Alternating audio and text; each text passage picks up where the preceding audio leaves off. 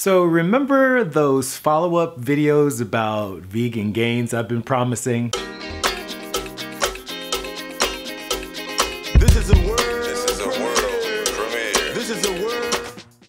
So this week I'm gonna spend a little bit more time getting specific about criticisms I made about vegan gains, aka Richard Burgess. Now I'm not here to trash anyone, I'm just here to clarify some questions I've been getting from viewers on this channel. This isn't so much a response video as an exploration where I failed to go deep enough in my previous video. And I'm gonna spend this video correcting some things where I think I might have been misunderstood, by Richard in particular. And then later in the week I'm gonna look at his take on Black Lives Matter, then I'm gonna be looking Richard's take on Islam, and then next week I'm gonna address why I suggested that Richard might be aligning himself with a movement for ethno nationalism and even unintentionally so. And no, I'm not going to be talking about Richard every day. We're going to do some updates on the projects I've been working on and some news updates. You know, stuff I'd like to do with you. First, I'm going to remind you all how we got here. So I made a video questioning vegan gains on how his often violently charged, sometimes misogynistic, and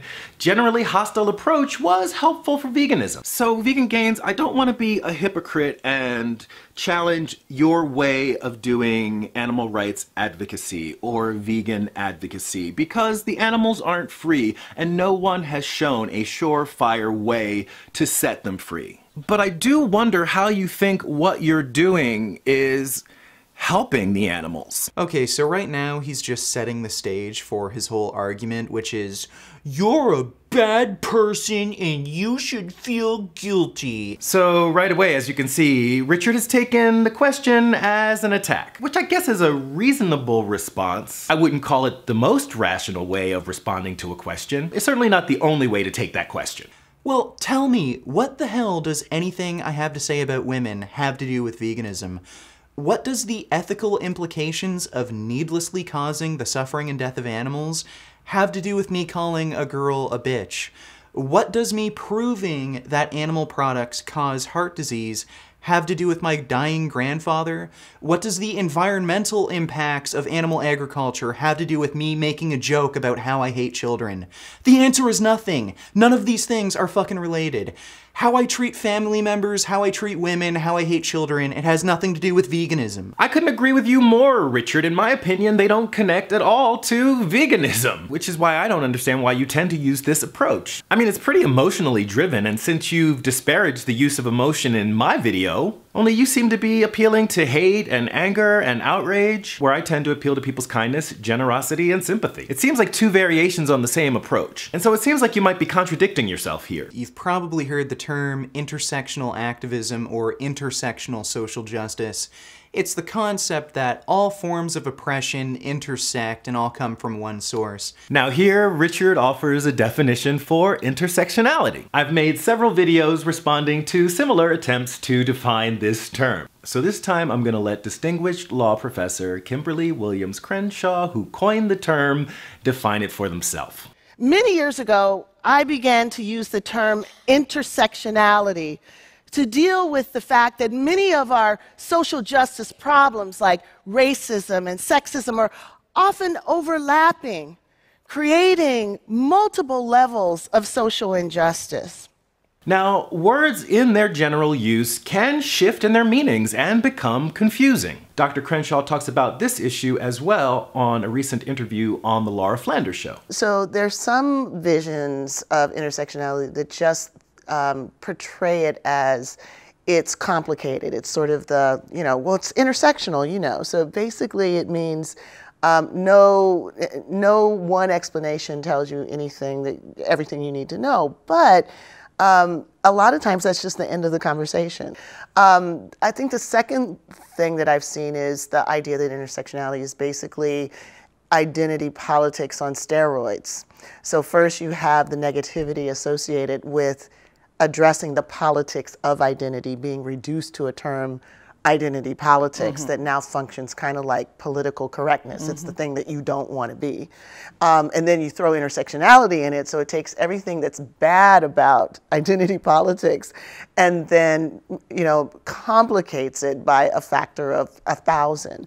Those aren't really the most productive ways of thinking about intersectionality at the say. moment. Now, regardless of how confusing the word might be, this shouldn't stop someone as committed to facts as Vegan Gains from doing the work to define these terms clearly. Although you preach ethics, at least as far as animals are concerned, you also seem to exemplify a level of toxic masculinity that I think might be turning a lot of people off to your message. Uh, toxic masculinity. So let me explain what this really is.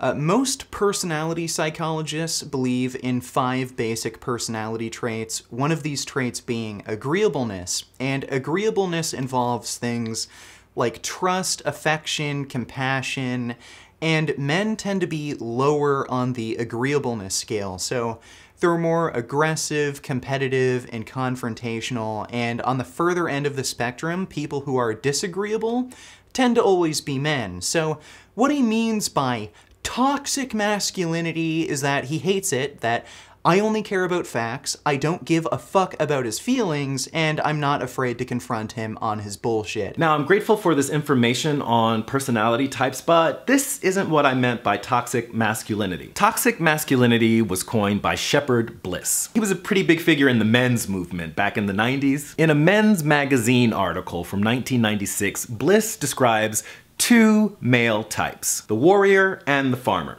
The warrior seeks control weapons, other people, territory, the sea, the air, darkness. The farmer is about connecting, communication, relationships in the human and non human worlds. He proposes that the warrior has been given preference in men over all the other things that men can be. An article in Atlantic Magazine by James Hamblin captures pretty well what I meant when I was talking about toxic masculinity in my video. He describes it as a specific model of manhood geared towards dominance and control. When men seek that control, when we feel it's our due and don't achieve it, we can resent and hate. Toxic masculinity sets expectations that prime us for disappointment. We turn that disappointment on ourselves and others as anger and hatred. Now, before anybody starts calling me a man hater, look, I dig men, and I'm talking about I dig men, like aggressive men, even that warrior thing, that can be a real turn on. But that's not all I'm looking for in a man. It's not very useful if I'm trying to discuss an issue, or work on a project, or figure out a solution to a complicated problem, like how to get the world to go vegan or racism, or mitigating the effects of capitalism, climate change. And I don't necessarily see just being aggressive or being macho as toxic. But let's just say it becomes toxic when the police show up at your house because they think you might actually kill someone. So what happened was I made a video where I was just comparing killing people to killing animals and I was making the argument where okay, well if you just eat meat for, you know, personal pleasure, then by that same logic I should just be able to kill people for that same reason, just personal pleasure. Right. And the video like obviously it was dark humor, but it was obviously like showing a non-violence method It's not murder, it's putting you out of your misery. It's not murder, it's extermination. It's not murder, it's blowing your fucking brains out. And then the cops uh, broke, like, just came to my house at three in the morning. Oh wow. Um, they dragged me out of my house, and uh, the lead investigator was saying, "Do you think you can just say this shit online and get away with it anymore?" Like, and I was like, "What are you talking about?" And then he said, "You said you wanted to kill people who eat meat," and I said, "No, I didn't. Did you watch my video?" It's blowing your fucking brains out.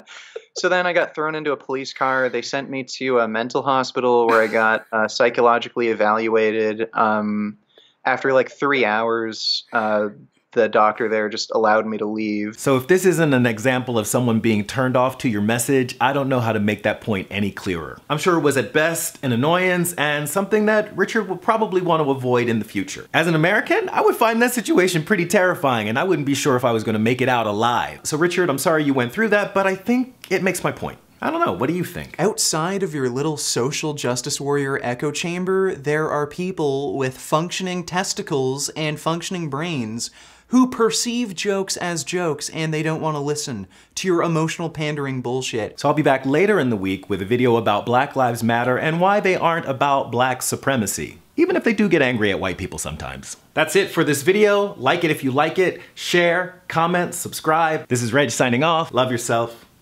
Peace.